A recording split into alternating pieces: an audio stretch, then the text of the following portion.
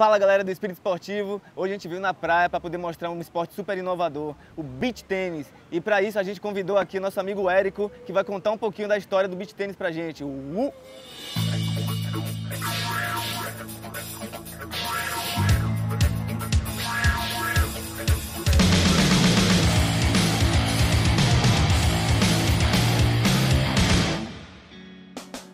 Érico, Seja bem-vindo. E aí, Zeca, beleza? Tudo jóia? Bem-vindo você à Valeu. praia. A praia. Seu escritório é na praia mesmo, né? Na verdade, sua quadra é na praia. Sempre aqui na, entre a barraca de, da Gávea e a Maré Blue.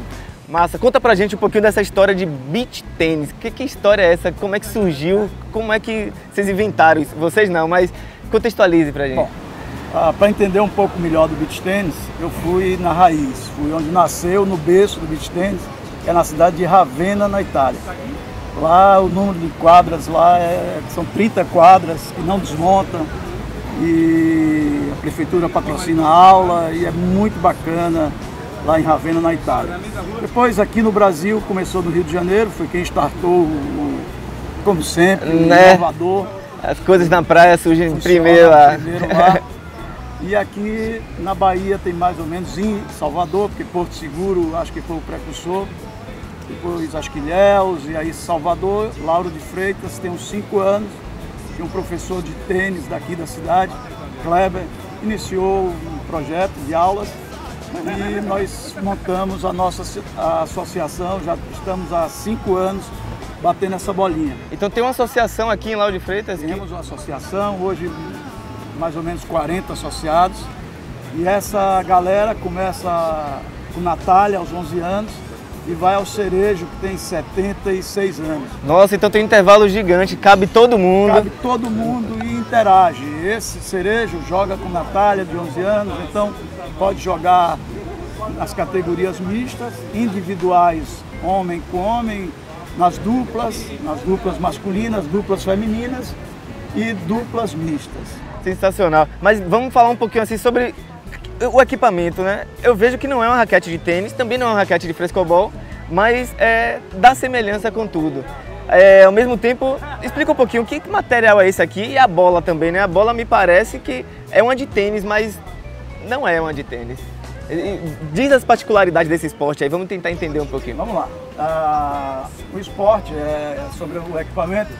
As raquetes, ela tem uma composição que pode ser em fibra de vidro, fibra de carbono, ela também pode ser em Kevlar ou a mescla de todos esses, esses compostos, né, essas fibras. São leves, então tudo que você falou é levinho. São leves. O que vai diferenciar das raquetes é o, a, as perfurações, ou seja, essa raquete, por exemplo, como ela é muito perfurada, ela não tem muita resistência ao avanço. Então você, nesse movimento, ela vai fluir mais do que uma raquete chapada como essa, que você tem muito mais resistência ao avanço. Ah, então, o peso dela é equilibrado pelos furos, então. O peso e a resistência ao avanço. Então, o que é que vai mudar realmente são os furos da raquete. Perfeito. E a bola? A bola é uma bola igual a uma bola de tênis, só que ela vem com 50% do peso. É conhecida também como bola soft, uma bola que é para principiantes de tênis, para crianças. No mais, a, as quadras são formadas e montadas. Isso, isso que eu ia te perguntar. 16 metros, né? Elas são 8 por 8. Aqui a gente tem duas, não é isso? São duas quadras montadas aqui. E ela tem. A, a rede tem uma altura diferente também, né? 1,70m. Em geral, as quadras são. As redes têm 1,70m de altura. De altura, a fita de cima.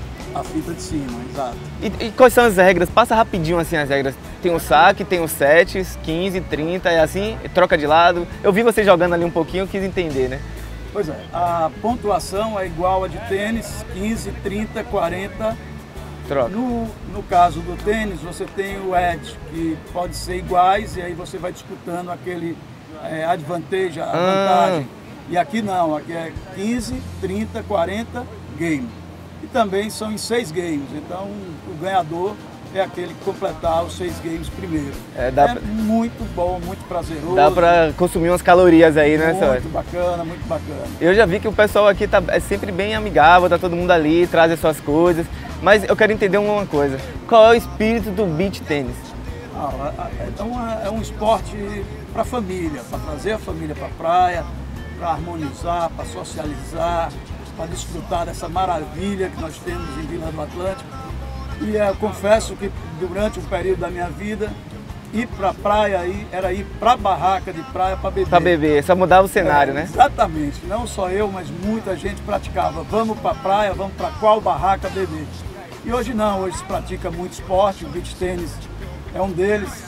E é o esporte que mais cresce no mundo. Ah, é? Mais cresce, é o, o, o esporte com maior número de adeptos. Né? Aqui em Salvador, por exemplo, nós já temos cinco points. Ah, Salvador fica onde?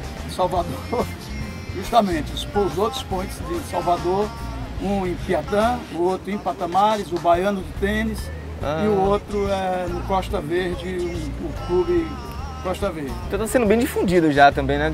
Salvador, Lauro de Freitas, Lauro de Freitas tem essas duas quadras aqui e muito bem povoada. Agora que o pessoal deu uma pausazinha, né? Porque também, se vocês observarem, a gente não tem mais nenhuma nuvem no céu. É. A gente já está com sol a pino mesmo. Verdade. Mas ainda a gente vai dar um trotezinho ali, só me mostrar umas manobras, não dá não? Ok. Então, agora eu vou aceitar o seu desafio, vou tentar ver ali como é que eu me saio na quadra. Vamos nessa? Bem-vindo, Zeca. Vamos Valeu, lá. Vamos nessa.